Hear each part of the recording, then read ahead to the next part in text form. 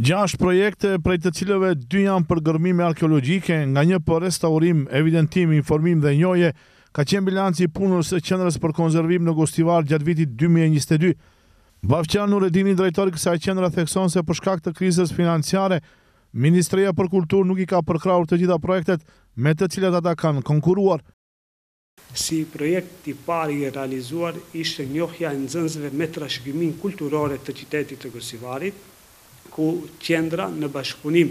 me shkollat e qytetit të Gostivarit do të njoftonte nxënësit për së afërmi me historikun e objekteve që janë në mbrojtje të trashëgimisë kulturore të qytetit të Gostivarit. Projekti i dytë i realizuar gjatë vitit dy mijë e njëzet e dy ka qenë Evidentimi i plastikës së gurit të objekteve profane në qytetin e Gostivarit, projekti i tretë i realizuar në kuadër të Qendrës për Konservim ka qenë faza e dytë e punimeve në xhaminë e vjetër të fshatit Raven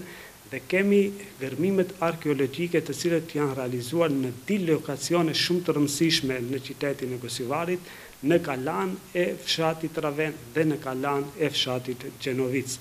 gërmime të cilat kanë zbuluar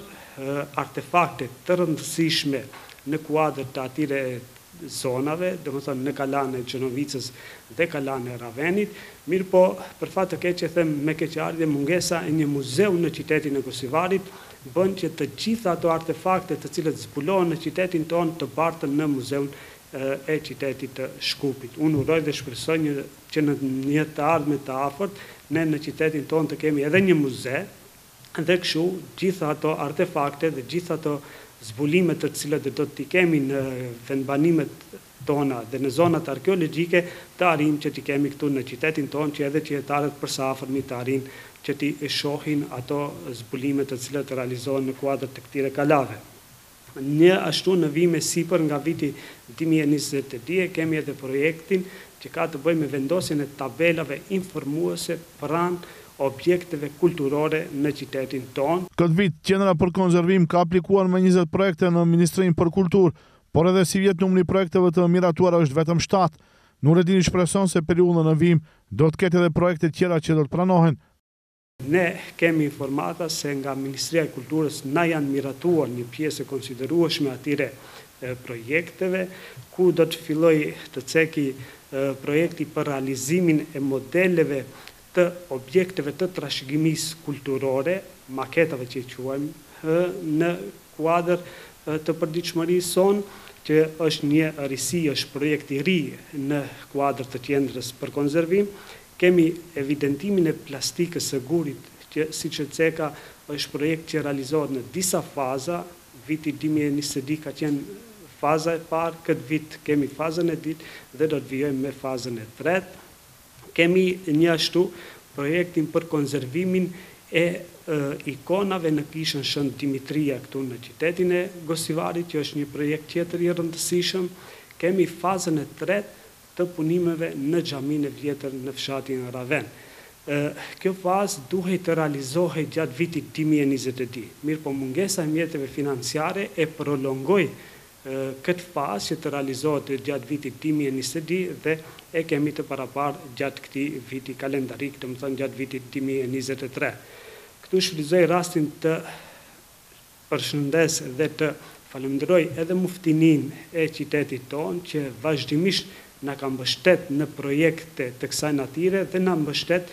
edhe në kuadër të kësaj faze të tretë me një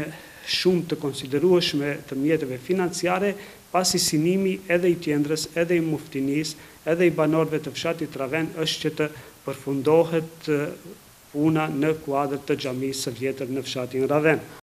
Që të mos pritet vetëm nga Ministria për Kulturë, Qendra për Konservim në Gostivar fillon bashkëpunimin me Qendrën për Konservim të Qytetit të Prishtinës, prej ku pret që me aplikim në fondet e jashtme të mund të realizohen më shumë projekte. Kemi një risi njashtu në projektet e këtij viti